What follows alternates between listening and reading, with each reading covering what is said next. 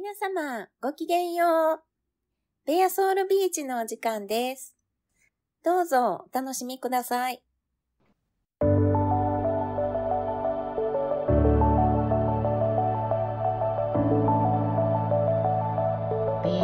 ソウルビーチ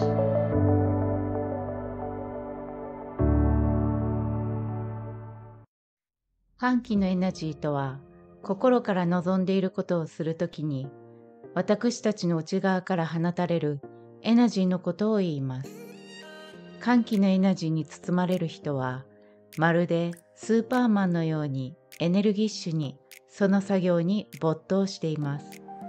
その間一切の恐れや疑いから解放され安心して集中しているのです。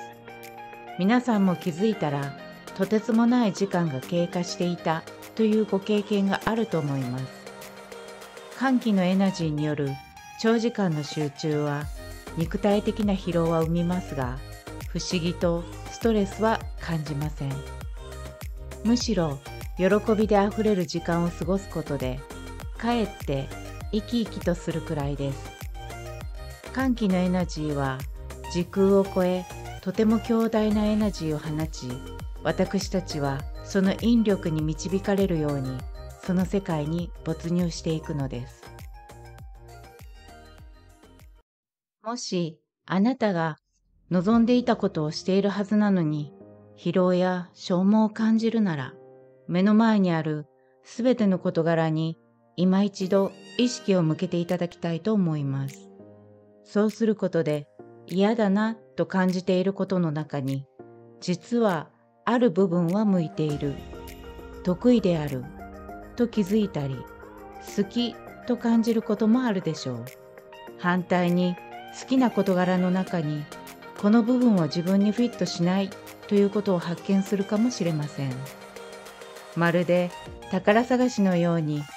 ご自身の内側に眠る真実の声を探し出してほしいのです。またご自身でも今何を望んでいるのかわからないという方はまずご自身の内側に意識を向け今目の前にあることは心から望んでいることかしら歓喜のエナジーは出ているかしら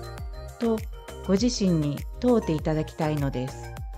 そうすることによってご自身の好みや適性に気づくことができるでしょう。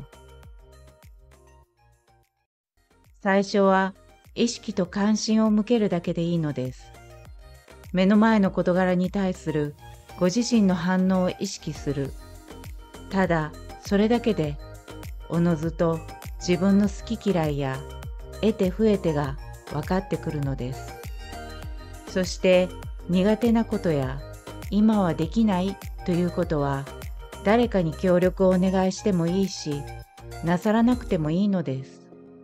とはいえお仕事などどうしても自分がやらなければならない時もありますよね。そんな時は今自分は苦手なことをしていると自覚なさってみてください。この自覚が大いなる一歩を生み出すのです。本当は苦手であると意識することで早く終わらせる工夫をするようになるかもしれませんし苦手なことを終えた自分によく頑張りましたと言って自分で自分を褒めていいしご褒美だってあげても良いのです。常に変動するご自身のコンディションを敏感に察知し理解してあげられるのはご自身しかいません。ですから誰かのねぎらいの言葉やケアを待つ必要はないのです。ご自身がご自分を大切に慈しみいたわる。これ以上の最高のケアがこの地上に存在するでしょうか？その第一歩はご自身に意識を向けることただこれだけなのですとても簡単でしょ？どうぞご自身の内側に愛と慈しみのエナジーを最後まで聞いてくださりありがとうございます。ごきげんよう。ナモアミダ仏。